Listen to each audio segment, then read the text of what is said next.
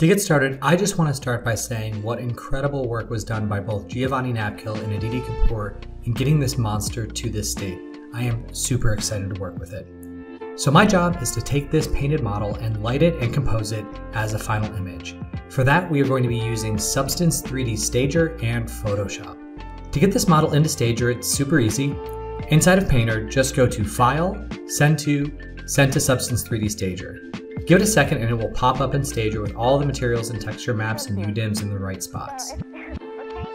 Great, so now that we have this character in the Stager, we need to come up with a plan of attack on how we are going to stage and light it. At this point, I always gather reference images. When gathering references, I'm looking for three main things. How these images create mood, how they direct the audience's eye, and how they create visual shaping. Step one, for creating mood, this is all about the character themselves. Is it a hero? Is it a villain? Are we looking to emphasize their size, their cuteness, their hairiness? And what emotion are we trying to get out of the audience? In this case, this is a super monster. It's big, so I want to keep the camera low to make sure the alien feels larger than us. For the lighting, I want to keep it creepy dark with small splashes of light and lots of cool tone colors to make this creature feel more metallic and cold-blooded. Step 2. How are we going to direct the audience's eye to the character? It's a dark character in a dark environment. How are we going to compose and light the scene to look at the most important part of the character? I think for that, it's going to be manufacturing these little pockets of light in small areas. And this character is actually tricky since there are no visible eyes, and that's generally where we want the audience to look. So in this case, we are going to focus on the teeth because that is the area where the monster is going to do the most damage to us. The final step is how are we going to create visual shaping and visual interest on this character. Visual shaping is the light to dark fall off across a character or object, giving the sense of volume or mass in the scene. Normally we just use the light's position to give it a glancing angle to the camera to create this shaping. In this case, we don't have that much light to work with. So with all these dark areas, we have to implement a different technique.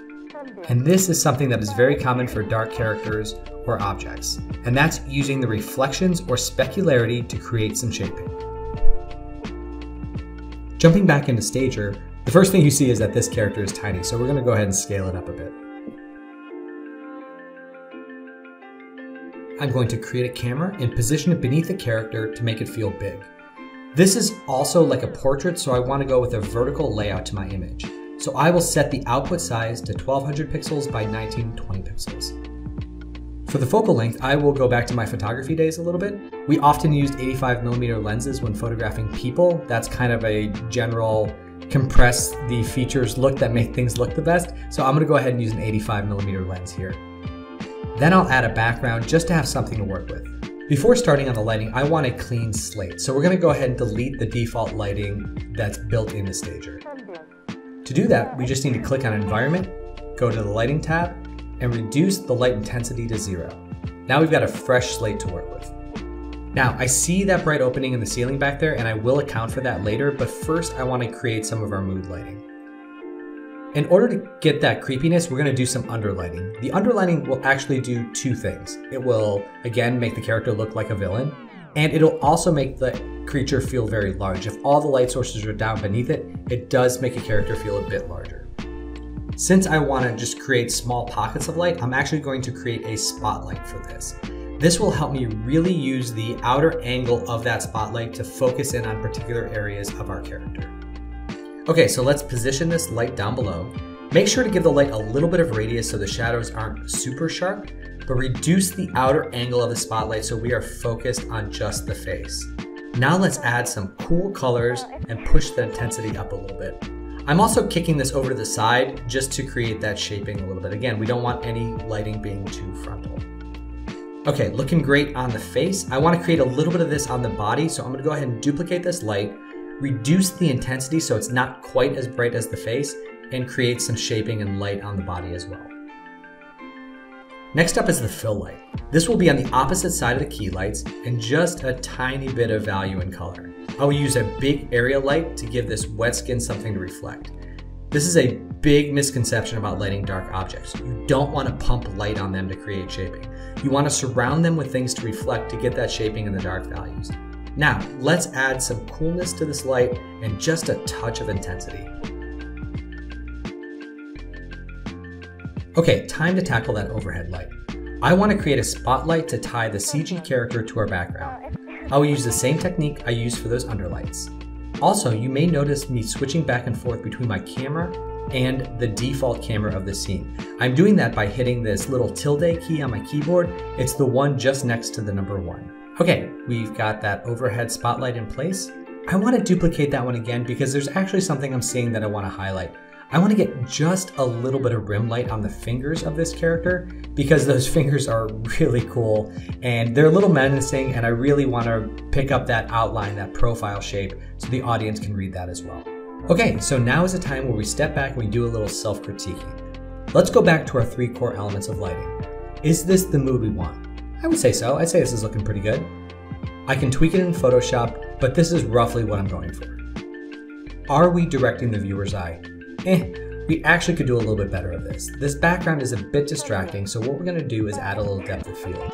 For that, we will click the camera and activate depth of field. Now we will set the focal point by clicking the icon and selecting the teeth and increasing the blur to 24. You will notice the background is not going out of focus with the character, right? And obviously we're gonna want that background image out of focus too. So to do that, all we have to do is click back on the camera, go to the background image, and click this little pencil icon. What this does is this opens the image in Photoshop and actually creates a live link between it and the Stager file. So now in Photoshop, all we have to do is add a bit of Gaussian blur, go to File and Save, and that will automatically update in Stager. A pretty cool thing about being part of the Adobe ecosystem is that we can create these live connections between Photoshop and Illustrator.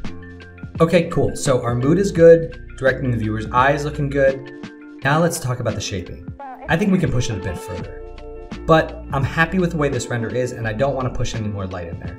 So this render we're going to go ahead and knock out and I will take care of more shaping in another one and we can piece that together in Photoshop. So let's go to the render screen, set our settings, and let's pretend like I clicked render and we went ahead and rendered this. But we're going to do the baking show style where I already did that and we will just take a look at that in a minute.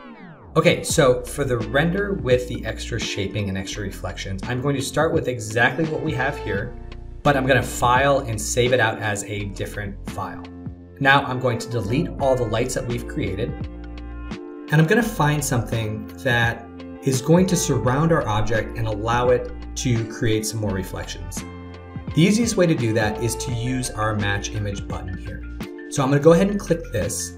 Now I wanna make sure to uncheck the first and third options because both of those are adjusting the aspect ratio and the camera position. I want those to stay exactly where I set them before. I only want to put this image and some lights on the surroundings to create some extra reflection. Okay, here we go. I want to boost this just a bit more, so I'm going to go into the environment button and enter the lights that we just created. I just want to increase that environment light a little bit to get some more out of it. Let's take that to 250%. Yes, okay, here are some gross reflections we can work with in our final image. Great, let's render it out and hop on over into Photoshop. Okay, so here in Photoshop, I did a few things to finish off this image. As you know, Stager is pretty great and separates out the CG elements from the background image. It also gives us these layers in case you want to isolate different parts of the character when working in Photoshop. So I started with that original character that I lit. All I did there was just increase the contrast a little bit over the original image. Next, I added the specular highlights pass from that second image. I used the linear dodge add operation to get those in there, and I just kind of erased some of the parts that I didn't necessarily want and kept the parts that I did. I really like the way it came out because I think it adds some nice shaping and creepiness to our xenomorph. I also added a little vignette just to make sure that the audience is focused on the middle of the image exactly where we want them to see. Okay, one last thing I did. So for this, I actually referenced back to my time as a lighter on animated films. I was working on Ice Age 3 and we were struggling with how to get the super evil dinosaur in the movie to look menacing without being too scary for kids. One of my fellow artists, this amazing guy named Youngwoo Jang, came up with the idea of adding just a touch of redness around the mouth to make it seem like there were some blood stains on there. So I did that here. just a little rosiness around the mouth to indicate some bad stuff has happened in the past. And that is it. We have created this final scene and image entirely within the Adobe Substance 3D ecosystem.